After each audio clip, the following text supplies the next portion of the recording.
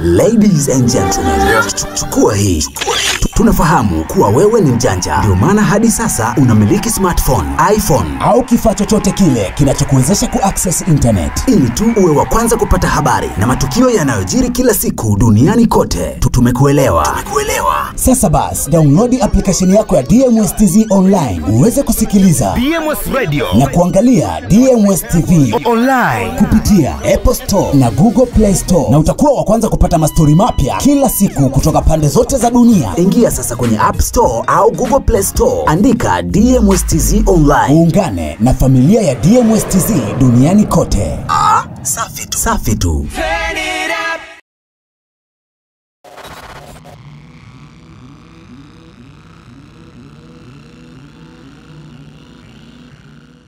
E bana, mambo vipi? Karibu tena DMS Online TV. Mimi naitwa Ndigwake Dadi, na leo kwenye kona ya kitani kwangu yupo mtu mzima zaidi, Zai to the double ID. E bana, mambo vipi? Inakuwaje? Shwari, uko poa? Fresh kabisa. Umefanya mapinduzi makubwa sana kupitia kazi yako ya woo. Kila mtu akawa haamini kile ambacho umekifanya. Ni, ni hip hop fulani via tofauti. Hongera.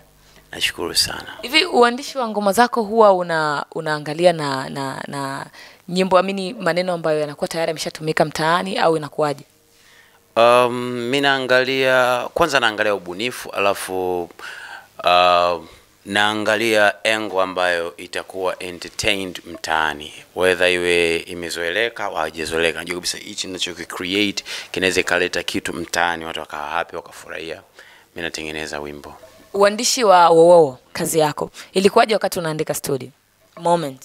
Um, haikupishana na moment zingine zingine isipokuwa wao ilitokea nimeiandika kwa muda kama miezi mitatu na nimerecord zaidi ya studio nne au tano. Kwa sababu nilikuwa naona na kitu nataka sema labda hamna uwiano kati ya beats na mimi producer na mimi. Kwa hiyo ni kazi ambayo ime, ime, imezingatia muda na chemistry ya mimi na producer ili nitengeneze kazi bora. Kwa hivyo nikawa naandika taratibu sana, nafuta, nikipata rhythm hii naandika, nafuta. Kwa hiyo ilikuwa hivyo tu.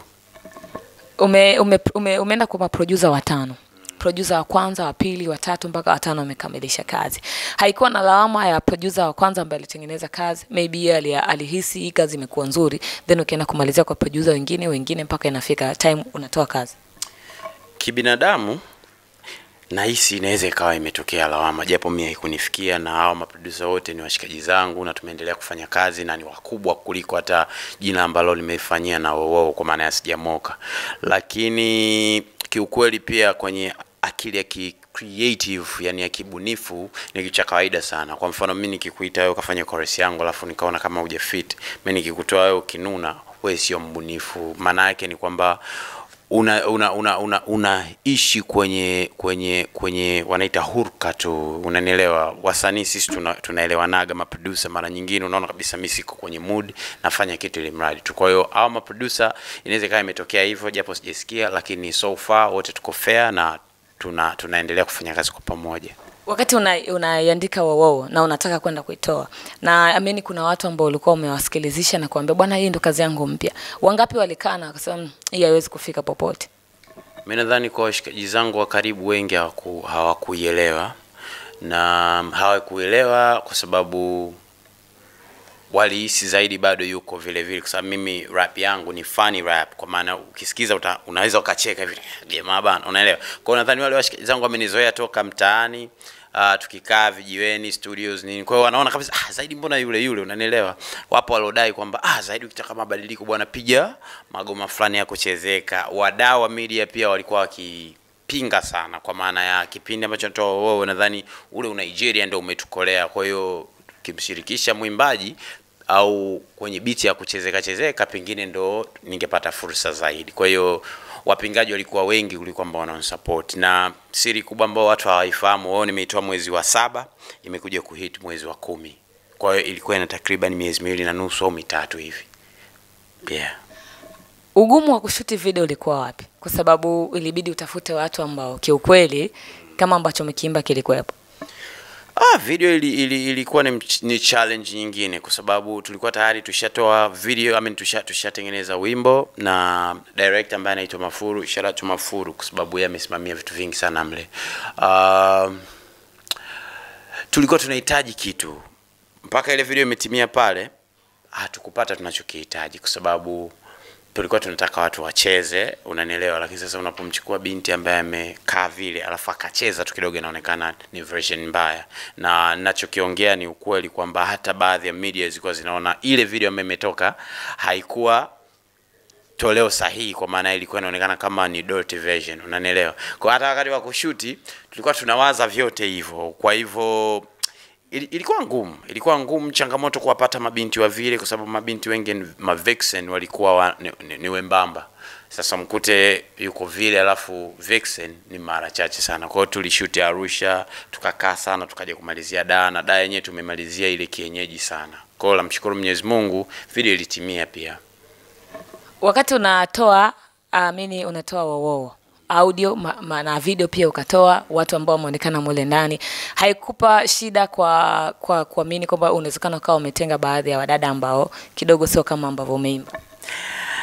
Kiukweli kwa ambao hamfahamu zaidi ilinipa ili shida kwa sababu wengi walihisi mi nimewaimbia maumbo makubwa kabisa. Lakini ukisikiza wimbo ukisikia ba, ukiona baadhi ya modo mle unaweza kuona ule mmoja anaikimbia ni mtu wa kawaida kidogo. Kwa hiyo ilikuwa ngumu kuwaelewesha lakini kitu kizuri kuhusu mimi ni kwamba mtu akinisikiliza lazima ufurahi kwa maana na, na, na hiyo funny flow. Yani kama natania alafu kama nasema ukweli. Kwa hiyo kidogo ililainisha kwa hiyo wale wadada ambao walikuwa wananuna kidogo akisikiza mm, lakini naweza nikacheza hata mwenyewe chumbani na nini. Kwa hiyo ito ito ilikuwa poa tu. Yeah ilikuwa fresh. Wasanii wengi wanasema mziki una unafiki mwingi. Tunakubaliana na hilo Um, unajua sasa hiyo ni sentence tata kwa sababu kila mtu ana, ana engo ya unafiki wake, labda yeye anazungumzia upande wa media au wasanii wenzao au nini. Sasa sijui wao wanaongelea upande gani. Kwa mimi, mimi siko karibu sana na wasanii wengi, lakini pia siko karibu sana na wadau wa wapo wanaopushi, si watu wanaototoa hela labda kuwasaidia wasanii. Kwa hiyo hata wanaponiambia kuna unafiki, inawezekana ikawa kweli, lakini sasa mimi bado sija experience hiyo unafiki kiukweli. Uh, kwa komenti hiyo zaidi ni kwamba hujawahi kunafikiwa kwenye mziki wako Mm, hata kama nimewahi basi labda sijatafasiri kama unafiki, labda nimeitafsiri kama challenge ya game, kwa sababu kiukweli bwana, kwa upande wa wasanii sisi, unapoona mwamba akafanya jambo kubwa labda hivi, kuna zile tu ah, kwa nini huyu, unajua zile labda ngoma yake labda inatitia. Kwa mimi sitafsiri kama unafiki, mimi natafsiri kama challenge ya game tu. hip hop ya miaka hii sio kama hip hop ya miaka iliyopita tunajibu vipi comment Um, mimi niseme kwa namna mbili ndio, kwa namna moja ndio, kwa namna nyingine hapana. Uh, nikianza na ndio, uh, zamani kulikuwa kuna message zaidi, alafu kulikuwa kuna wasanii wana identity zaidi kuliko sasa hivi. Kwa maana ipi? Ukisikiza Mr. Ebo ana rap unaona kabisa eh, Mr. Ebo sasa anatufikishia ujumbe kwa mfumo wa Kimasai. Ukisikia Wagosi wa unacheka, alafu lakini wana, wana, wana deep message. Ukimsikiza labda Solo Thing unaona kabisa huyu ni serious rap, labda Karapina ni gangster rap. Sasa hivi uh, tuna mfumo mmoja, yani watu wanaswagisha swagisha sana, unanielewa zile.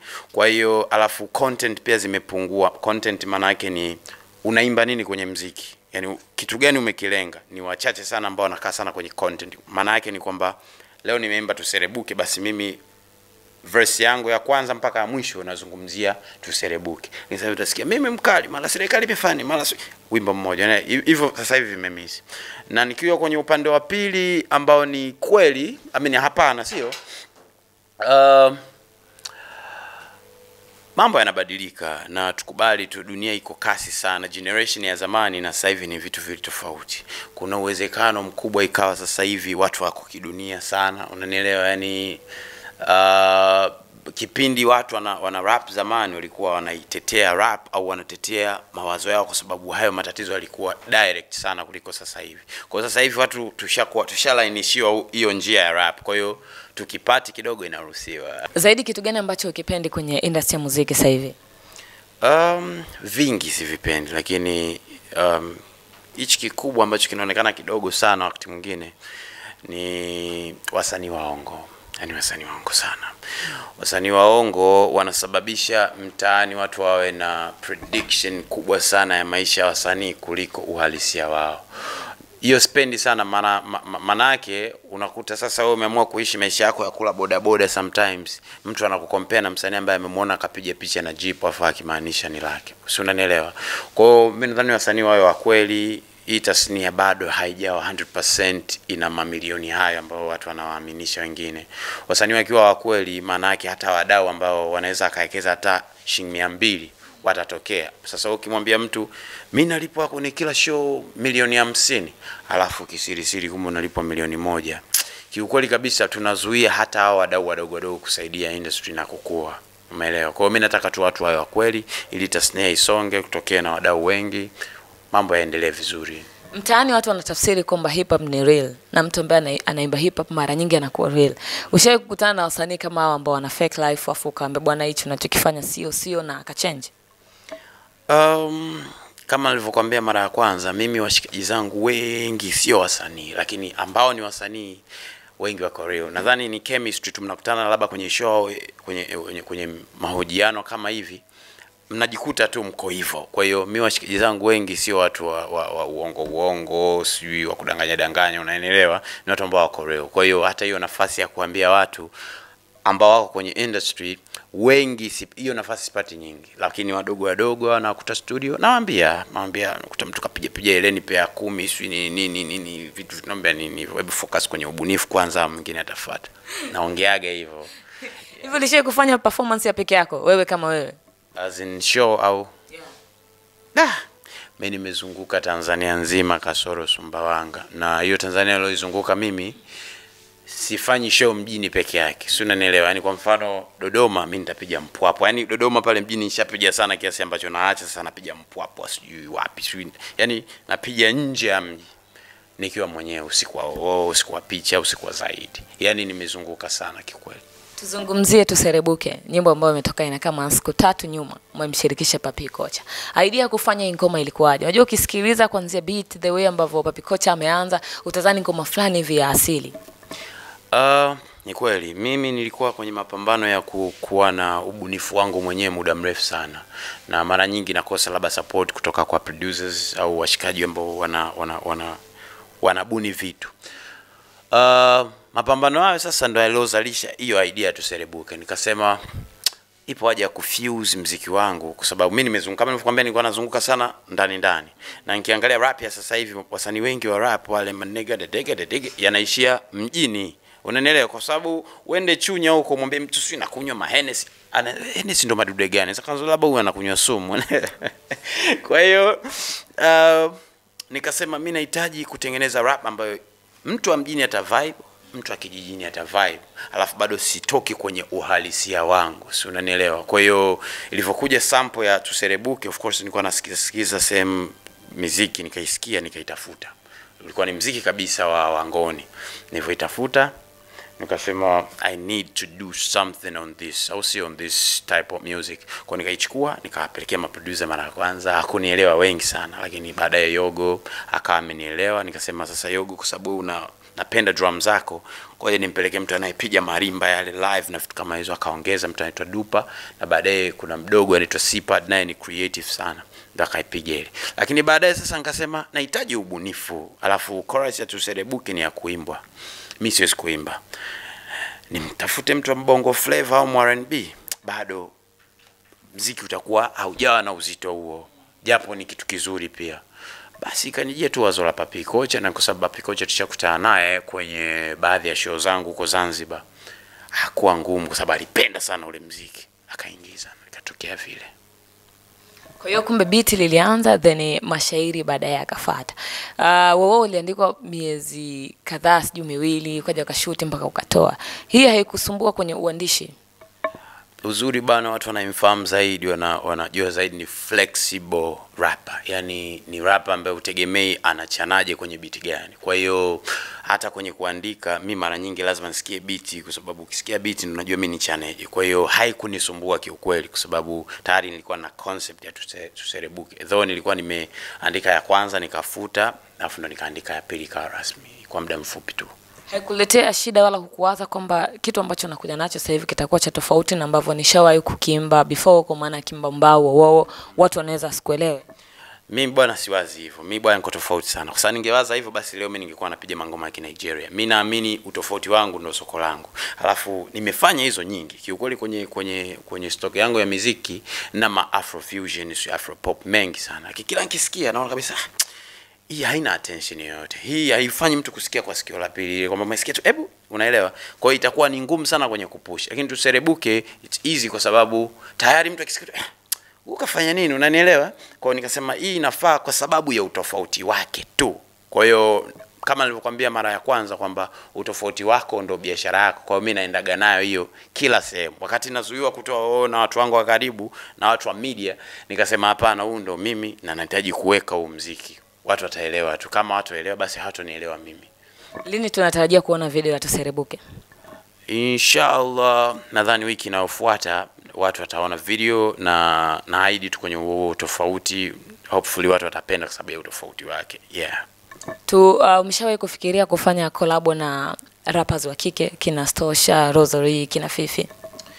Um, na wimbo mmoja bwana sitaki kutaja jina lake tulirekodi na bwana buga uh, japo haujakamilika kwa sababu tulirekodi kama sample na bibie uh, chemical. Ni wimbo ambao lazima usikize hata mara tatu ili uelewe. Kwa hiyo nimefanya nao nimefanya naye pink uzuri pia na kuna mabinti mimi naandikia mistari pia. Kwa hiyo wao wakiwa tayari kuongea watakuja kuongea pia. Sawa kitu gani ambacho kinakukera kwenye instagram Da, isemi bwana, Mungu anisamehe tu, lakini nisingekuwa msanii pengine Insta nisingekuwepo nayo, kwa sababu Insta zamani bwana naifananisha na zamani wakati tuko wadogo, ilikuwa ikitokea sikukuu, sasa ndo mnavaa vizuri, mnapigwa picha. Yaani sasa hivi ukishashtukia tu kuna ukuta wa blue kijani na umekula raba mpya, lazima ulipue. Kwa hiyo naona sasa kwa sisi wa Bongo hatuna vitu vingi special Instagram zaidi ya picha tu za nguo mpya na vitu kama hizo, lakini napenda kufuatilia Instagram. Kuna baadhi ya sehemu ambazo mimi naona kabisa najifunza na, na kuna vitu navipenda huko. mm. zaidi akikaa nyumbani akiwa amechill haendi studio haendi sehemu nyingine yote, kitu gani ambacho huwa unapenda kufanya Ah, mi nasikiza sana miziki afu nacheza sana PS sana game sana sana, napenda sana game na nakusikiza mziki ambao tofauti na naofanya mimi. Nataka nikuulize kuhusiana na album lakini nataka nikusomee kitu kimoja. Rapa kutokea marekani ras kama unamfahamu si ndio? Juzi aliandika kwenye tweet yake na akasema kwamba rappers wengi bado wanaachia album lakini wanaziita mixtape. Uh, pale tu wanaposhindwa kuziuza. Na baadaye pia wanafanya wanafanya hivi ili waweze kuachia nyingine tena na kuziita album.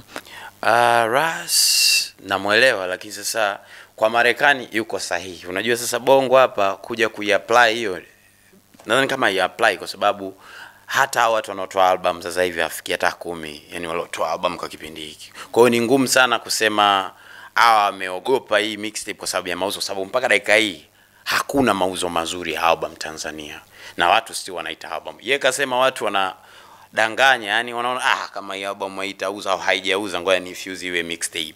Lakini sasa bongo sisi hatuko na watu wengi alafu watu wengi wametoa hizo hizo album. Alafu hizo hizo album nadhani wakija hapa akikupa full detail ya ukweli kabisa kuna vitu vinalega kwenye mfumo wa, wa soko letu yani mpaka ifanye- iweze kuuzika. Kwa hiyo tunatarajia siku moja zaidi atakuja na album mi na album si chini ya tano au sita lakini sijazitoa kwa sababu kwanza na experience ya kuuza mixtape kwa mkono wangu nimefanya mixtape mbili.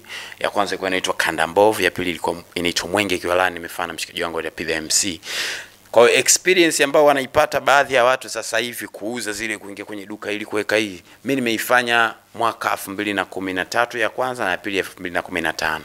Kwa hiyo bado na experience nzuri. Kwa hiyo nikija nikifanya kama piangu ya album jua kabisa sitatumia hiyo formula. Yaani hapa ninapokuambia nawaza tu formula. Tunaongeaga sana brother Adam Juma ana vitu fulani ananipaga na furahi kwa hiyo nadhani tukitima vizuri tunaweza tukaja kufanya kitu cha tofauti kidogo kwenye huo mfumo wa utoaji album kitu gani ukiambiwa washauri maslahi kwenu, tawashauri nini Ah, Maslahi kwenu bwana, unajua yale ndo maisha yao. Sasa najaribu kuwaza waache hao maisha tu, kwa sababu mwisho wa siku yale maisha ni kama wanajidanganya wenyewe, si unanielewa? Yani umeenda kwenye, umebahatisha kwenda Slipway ukapiga picha, sasa mimi nishakuona. Baada ya hapo ina maana wewe ndio unajifariji. Mimi siwezi kuona wewe noma kwa sababu umevaa high heels ya kuazima ambayo wewe unajua umeitolea wapi. Kwa hiyo mimi nadhani waishi maisha yao watafika mbali sana. Hiyo focus ya kuishi maisha ya kuigiza wakiitumia kwenye kucreate vitu vyao vya maisha yao wanaweza kafika mbali sana.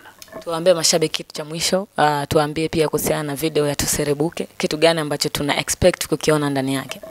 Bwana eh, mimi ndo yule yule zaid ambaye mlinikubali kipindi kile na nimetoa sasa hivi ngoma yangu ya kitofauti bwana Mimi nadhani watanzania wamemiss sana taste ya tanzania taste ya traditional taste ambayo utatoka hapa utaenda kujivunia hata marekani unanielewa? Nimetoa wimbo wangu tu tuserebuke nimemshirikisha papi kocha. Naomba wa support, yani tutishe au sio? Tupende vya kwetu ili sisi tuwe matajiri na hela nyingi sana. Tupige show hata huko kama wanavyopiga kina Wizkid. One support. Video inakuja wiki ijayo. Nikiwa mimi sawa na wao watakuwa sawa vile vile sawa asante kwa wewe ambaye tayari umesubscribe youtube channel yetu as dms online tv asante kwa wewe ambao una like una comment una share pia kupitia ukurasa wetu wa instagram kama dms online tv Mimi naitwa ndigwake dada.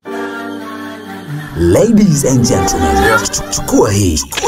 Tunafahamu kuwa wewe ni mjanja, ndio maana hadi sasa unamiliki smartphone, iPhone, au kifaa chochote kile kinachokuwezesha kuaccess internet. Ili tu uwe wa kwanza kupata habari na matukio yanayojiri kila siku duniani kote. Tu- Tumekuelewa, tumekuelewa. sasa basi download application yako ya dmstz online. Uweze kusikiliza DMS Radio. na kuangalia dms tv online. kupitia apple store na google play store. Na utakuwa wa kwanza kupata mastori mapya kila siku kutoka pande zote za dunia. Ingia sasa kwenye App Store au Google Play Store, andika DMSTZ Online. uungane na familia ya dmstz duniani kote Ah, Safi tu. Safi tu. Turn it